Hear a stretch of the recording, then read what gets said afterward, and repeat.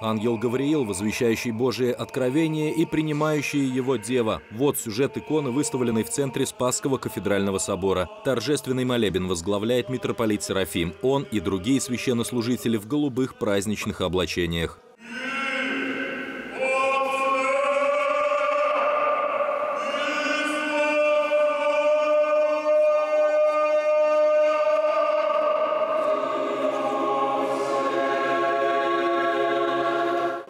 Чтении Евангелия, в стихирах и песнопениях вспоминается событие, которое определило судьбу не только одной израильской девушки, но и всего мира. Согласно святоотеческому толкованию, Марии суждено было стать своеобразным антиподом праматери Евы. Если та своим нарушением заповеди стала причиной слома всего мироустройства, то будущая Матерь Иисуса Христа собственным послушанием открыла возможность для спасения человечества.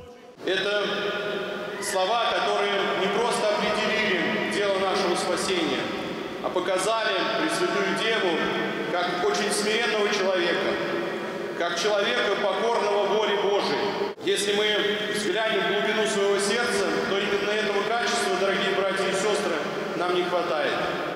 Несмотря на светские будни, на праздник Благовещения пришло довольно много пензенцев. С учетом большого количества желающих причаститься, из алтаря вынесли сразу четыре чаши. После литургии по давней традиции священники и прихожане, выйдя на улицу, выпустили в небо белых голубей.